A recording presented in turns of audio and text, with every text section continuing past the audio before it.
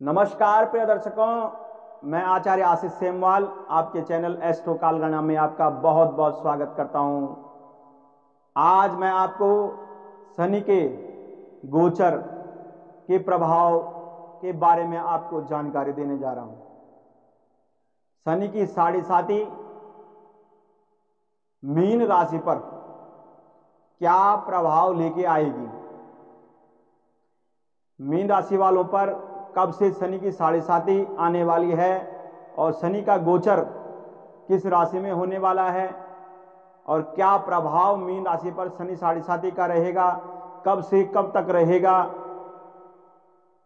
क्या क्या संकट आने वाले हैं, कब भाग्य का साथ मिलेगा, कब नौकरियों में उन्नति मिलेगी या नौकरियाँ आपको मिलेंगी भाग्य का कब साथ मिलेगा और संतान का योग, पुत्र संतान का योग कब बनेगा?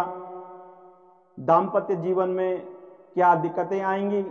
जब भी शनि की साढ़े साथी किसी के ऊपर आती है तो शनि की साढ़े साथी बहुत दिक्कतें लेके आती है। यानी कि चिड़चिड़ा हो जाना, मानसिक तनाव आ जाना, काम न बनना पूरा काम बन जाना, अंत में काम में रुकावट आ जाना। शनि की साढ़े साथी का प्रभाव मीन राशि पर क्या रहेगा, इस पर मैं पूरी जानकारी दूँगा आपको। अभी तक आपने हमारे चैनल को सब्सक्राइब नहीं किया, सब्सक्राइब कर दें, लाइक, कमेंट, शेयर ज़रूर करें, बेल आइकन को प्रेस करना ना भूलें, जिससे सर्वप्रथम आप तक ये वीडियो आप तक पहुँचे और उस वीडियो से आप लाभ ले सकें। प्रिय दर्शकों ज़्यादा समय न लेते हुए आपको मैं मीन राशि की साढ़े साथी के प्रभाव के बारे में बता दूँ। शनि ग्रह 17 जनवरी 2023 को कुंभ राशि में गोचर कर रहे हैं। यानी कि शनि ग्रह अपनी ही पहले मकर राशि को छोड़ करके अब ज्ञान की राशि, लाभ की राशि काल पुरुष की जो एकादश राशि है, एकादश भाव में वो बनती है, वो लाभ की राशि है। कुंभ कुंभ घड़े घड़े में जो बहुत कुछ रहता है। अमृत भी रहता है असरपी भी रहती हैं, खजाना भी रहता है। तो जब शनि ग्रह कुंभ राशि में गोचर करेंगे तो मीन राशि को क्या खजाना मिलने वाला है?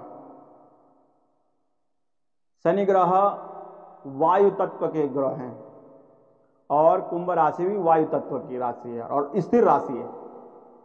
जब शनि ग्रह इस राशि में जाएँगे तो वो स्थिर रूप से धन, वैभव, लक्ष्मी, गज, यानी कि घोड़े, गज घोड़े का मतलब है आपको भूमि, भवन, वाहन का सुख मिलेगा। स्थिर लक्ष्मी का आपके घर में वास होने वाला है। कुंभ राशि में जब शनि गोचर करते हैं तो शनि आध्यात्म हो जाते हैं। यानी कि तात्पर्य है, शनि भक्ति मय हो जाते हैं ज्ञान की राशि में जाने से। उनका जो फल है, मकर राशि में शनि जो है, थोड़ा मिलाजुला फल देते हैं। यानी कि शनि जब मकर राशि में रहते हैं तो व्यक्ति क्या करते हैं?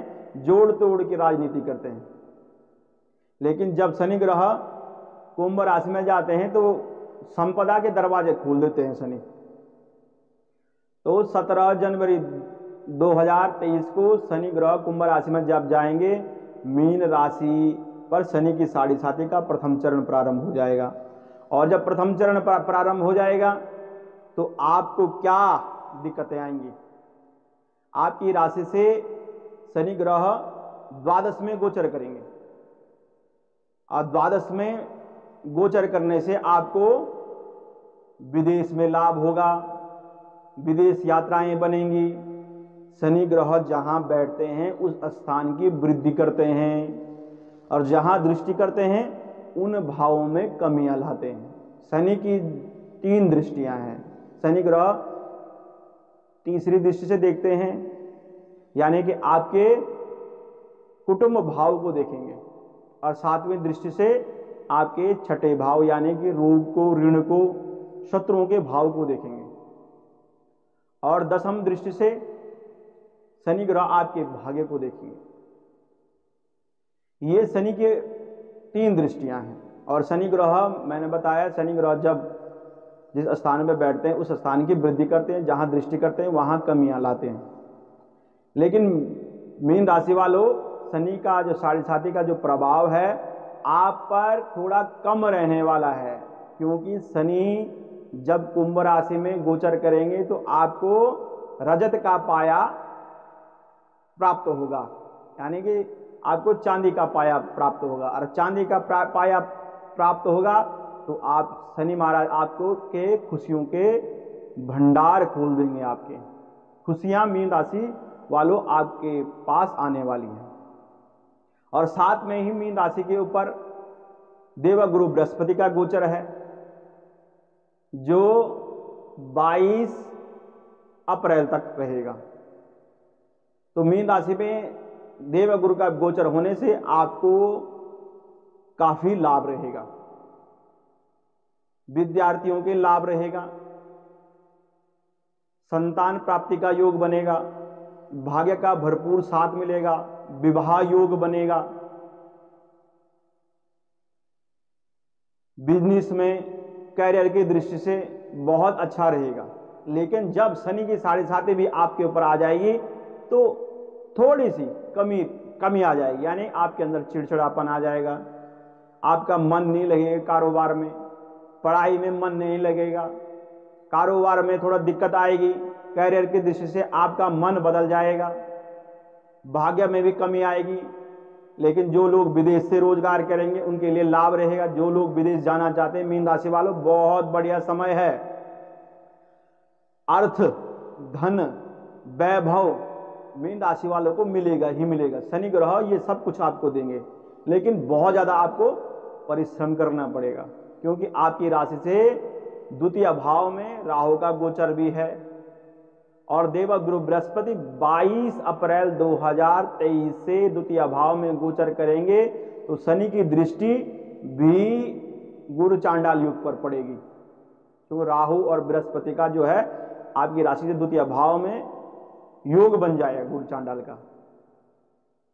इससे भी आपके 22 अप्रैल 2023 के बाद थोड़ी प्रॉब्लम आएँगी। आपके कुटुंब परिवार में दिक्कत आ जाना, परिवार के अंदर कुछ मन मिटाव हो जाना, रोगों जो पुराने रोग वाले हैं, मीन राशि वाले, उनके रोगों की बढ़ोतरी हो जाना, रोग में आराम न मिलना, खर्चा अधिक हो जाना, शत्रु बाधा उत्पन्न हो जाना पेट की समस्या हो जाना, आँखों में जलन का महसूस करना, हड्डियों में दर्द हो रहना, ये मांसपेशियों की शिकायत शनि ग्रह आपको देंगे। 22 अप्रैल के बाद 2023 के बाद, क्योंकि 22 अप्रैल तक आपकी राशि में देवगुरु बृहस्पति रहेंगे और शनि की साढ़े साथी का प्रभाव आपके ऊपर रजत का पाया होने से थोड़ा कम रहेगा। लेकिन तब भी शनि की साढ़े साथी जब प्रथम चरण में किसी भी राशि पर आती है तो मानसिक चिंताएँ बढ़ती हैं। बेवजह आप किसी से उलझ जाएँगे। अहंकार वश आप उससे बहस करने लग जाएँगे। तो ये प्रॉब्लम आएँगी आपके साथ। 22 अप्रैल के बाद प्रॉब्लम बढ़ जाएँगी। और फिर अक्टूबर 30 अक्टूबर 2023 के बाद आपको थोड़ा राहत मिलेगी, क्योंकि गुरु चांडाल योग समाप्त हो जाएगा आपकी राशि से। द्वितीय भाव में जो बन रहा था, राहु ग्रह मीन राशि में गोचर करेंगे तो आपकी काफ़ी समस्याएँ सुधर जाएँगी। यानी कि जो प्रॉब्लम आपको पहले ज़्यादा आ रही थी, वो कम हो जाएँगे। यानी कि पढ़ाई में मन लगेगा कुटुंब परिवार में जो दिक्कतें आ रही थी, दाम्पत्य जीवन में जो दिक्कतें आ रही करियर की दृष्टि से दिक्कतें आ रही थी, भाग्य में जो दिक्कतें आ रही थी, विदेश में जो प्रॉब्लम आ रही थी, व्यापार, रोज़गार में जो आपके काम नहीं बन रहे थे, उन कामों में बनने लग जाएँगे। नौकरियाँ जो चेंज करना चाहते थे, उन उन उनमें चेंज करेंगे और उसके बाद आपको पदोन्नति का योग बनेगा। नौकरियों के दरवाजे खुलेंगे। तबादले आपके होंगे। ये शनि की साढ़े साथी में आपको होगा। लेकिन तब भी मीन राशि वालों, आपका विदेश का योग भी बनता है। दाम्पत्य विवाह का योग भी बनता है। दाम्पत्य सुख आपको मिलेगा। भाग्य का भरपूर साथ मिलेगा। आप उपाय करेंगे तो आपको लाभ होगा। आपने उपाय करना है। शनिवार के दिन आपने पीपल के वृक्ष पर तेल का दिया जलाना है और वीरवार के दिन आपने घी का दिया जलाना है। और देवी का, माँ भगवती की उपासना आप नहीं करनी, कुंज का स्तोत्र का पाठ करना है। विष्णु सहस नाम को स्तोत्र को श्रवण करें या पाठ करें। हनुमान जी को आपने मंगलवार और साथ में वीरवार के दिन विष्णु भगवान की सेवा करनी, मंगलवार के दिन और शनिवार के दिन हनुमान जी की मंदिर में जाके चोला चढ़ाना है। हनुमान जी की, हनुमान चालीसा पढ़नी है, सुंदरकांड का पाठ करना है। ये आप करेंगे तो आपको शनि की साढ़े साथी का प्रभाव जो आपके ऊपर बन रहा है, जो आपके प्रथम चरण यानी सर पे रहेगा, उससे आपको राहत मिलेगी। जो आपकी मानसिक तनाव आपके अंदर रहेगा, उसमें कमी आएगी और आपके जीवन में खुशहाली आएगी। अभी के लिए मुझे अनुमति दीजिए। नमस्कार। जय माता दी।